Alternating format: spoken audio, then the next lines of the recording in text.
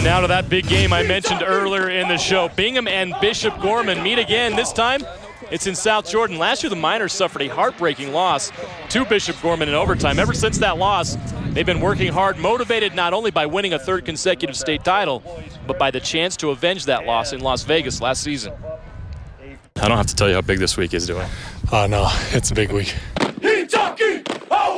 Well, I'm very excited. I know for the for the team, this is a really big game. I mean, statewide, it's a really big game. So um, the whole school's kind of buzzing. You know, the state's buzzing. Uh, it's going to be a really big game.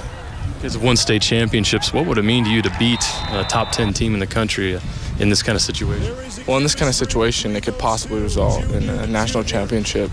So, I mean, that's just a whole new whole new level of things like for the state of Utah, everything. A lot of us that played in last year's game, we're regretting a lot of things that we did, but it's this is our time to come back and lots of missed opportunities, uh, lots of things that we could we could have made plays and that could have won the game.